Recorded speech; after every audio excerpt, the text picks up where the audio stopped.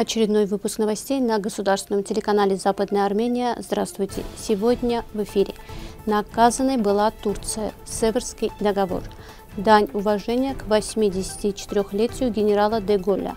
Книга армянина из Константинополя Ара Гюллера включена в список книг Турции «Друг детей». Геташен – одно из самых густонаселенных сел Арцаха с богатым историческим прошлым. Баку уничтожил церковь Суб-Амбарцман Берцори – Выставка «История одного Вишапакара». Ереванский государственный камерный хор получил первый приз на фестивале-конкурсе «Айновка». С одной стороны, Северский мирный договор подписан с Британской империей, Францией, Италией и Японией, также малыми союзниками Армении, Бельгии, Греции, Хиджазом, Польшей, Португалией, Румынией, сербско-хорватско-славянским государством и Чехословакией. Представителем Армении был Аветис Агаронян. В своих воспоминаниях он написал – 10 августа, день подписания Северского договора, был самым счастливым днем моей жизни. 10 августа Агурнян на машине добирается до Севра, куда в 16.00 прибывает премьер-министр Франции Александр Миллеран, который также был председателем конференции. Судебный пристав приглашает турецкую делегацию. Воцарилась полная тишина. Это было похоже на смертный приговор. Наказанной была Турция, написал Агаронян. Председатель конференции приглашает турецких делегатов подписать договор. Первым подходит Хади Паша, далее подписывают Тефрик Бей и Решат Бей. После подписывают представители Англии, Франции, Италии и Японии, после чего наступает очередь более малых союзников. Армения была первой в алфавитном порядке и меня пригласили подписать. Первым, кто поздравил Агроняна в Северском дворце, был премьер-министр Греции. Продолжение следует. 18 июня 1940 года, призвав к мобилизации все французские вооруженные силы сопротивления, генерал де Голь дал искру победы, которая послужила бы освобождению Франции от немецкой оккупации. Мэр Кан Давид Лиснер характерно описал и напомнил акт сопротивления и его последствия для будущего Франции вплоть до сегодняшних дней. На поминальной церемонии присутствовал и председатель Национального совета Западной Армении Армена Кабрамян, президент Ассоциации французских ветеранов и борцов сопротивления армянского происхождения Жан Казарусян, президент Национальной ассоциации армянских борцов Вреж Абрамян. Министерство семьи и социальных служб Турции выделило 1740 книг как дружественным детям. список книг входит Ара Гюллер – известный армянский фотограф Константинополя. Хороший фотограф умеет фотографировать даже на швейной машинке. Также в списке заняли место Полиана, Чарли и шоколадная фабрика, кем был Мухаммед Али, Леонардо да Винчи и его супермозг. Отмечается специальный комитет, созданный для содействия развитию детей, изучил печатные издания, доступные на рынке, и отобрал наиболее полезные книги для детей. В состав комиссии входят психологи, специалисты по развитию детей, социологи, педагоги и социальные работники. Центральной части Арцахской провинции исторической Армении в лесистой зоне северного хребта Мрав в глубоком ущелье реки Кюряк раскинулось одно из древних армянских сел края Гиташен. Наличие памятников материальной культуры, сохранившихся на территории Гиташена с богатым и славным историческим прошлым, свидетельствует о раннесредневековом существовании поселения. Некоторые обнаруженные археологические находки относятся до христианскому периоду. Гиташен был одним из самых густонаселенных сел Арцаха. По данным переписи населения, в 19-20 веках Гедашем был вторым по численности населения в Арцахе.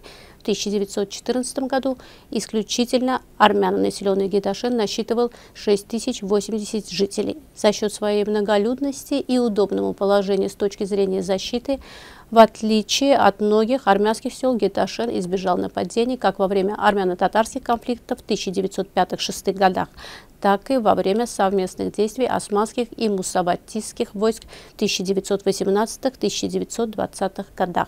В Геташене придавали большое значение образованию, которое также имеет древнюю историю. Первая приходская мужская школа открылась в 1864 году, а с 1906 года действовала и женская школа. В 1914 году в сельской приходской школе обучалось 140 учеников. В центре села сохранились три церкви, самая старая из которых церковь Аваксурб-Нашан или Натак. Надпись, выгравированная на церкви, характерна XI-XII веку. Вторая приходская церковь Сурб Аствацацин Геташена, расположенная в центре старого квартала. Третья церковь, известная как церковь Сурб Тирямор Кусанац в пустыне Кусанац. В окрестностях села также сохранилось несколько исторических памятников. Примечательный монастырский комплекс, расположенный примерно в двух километрах к югу от Гиташена, на склоне холма к северу от границы с лесом, известный как монастырь Егнасара. В 1991 году Баку и советская армия предприняли чудовищную насильственную депортацию армянского населения Гиташена. Начавшаяся в конце апреля борьба за выживание продлилась неделю. В условиях неравенства соотношения сил было осуществлено изгнание жителей Гиташена с родной колыбели. Последний армянский житель покинул село 7 мая 1991 года. На этот раз Баку уничтожил церковь Сурб Амбарцман Бердзоре. Строительство церкви было завершено в 1998 году. Крест на куполе был освящен 31 мая того же года. Об этом сообщает независимая академическая платформа «Мониторинг культурного наследия Арцаха». Архитектор церкви Грача Гаспарян. Строительством руководил Георгий Аракелян. Авторы художественного оформления церкви – известный скульптор Арташе Совсепян, художник Каро Макарчак, мастер по дереву Вано Дадуян и другие. Напомним, еще в 2021 году Бакинская общественная организация по охране памятников представила проект превращения церкви в мечеть. Следовательно, разрушение церкви – это преднамеренный шаг.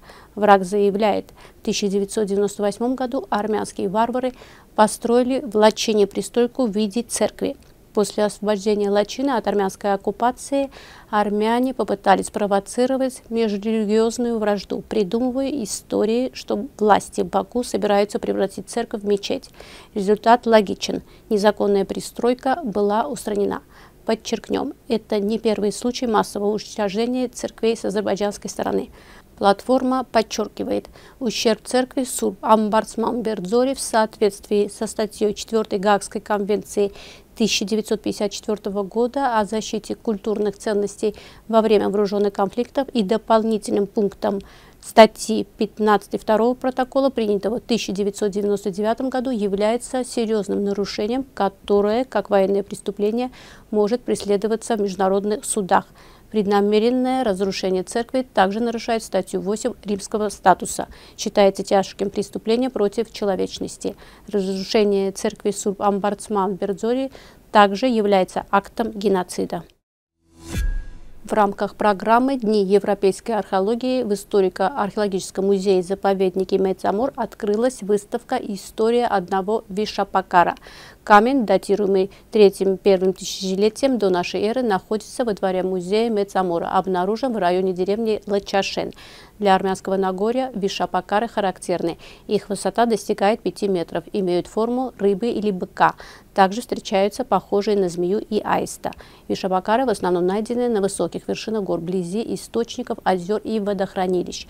Вызывают большой интерес как в Армении, так и в международной археологии.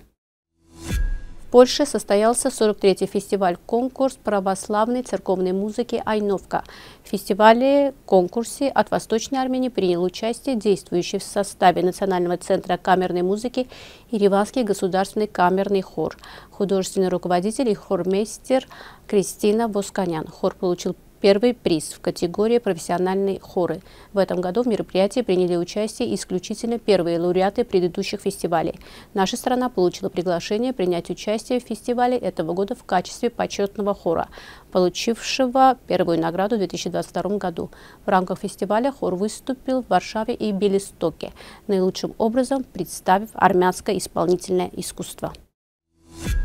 Такими были новости на сегодня. Мира вам и добра!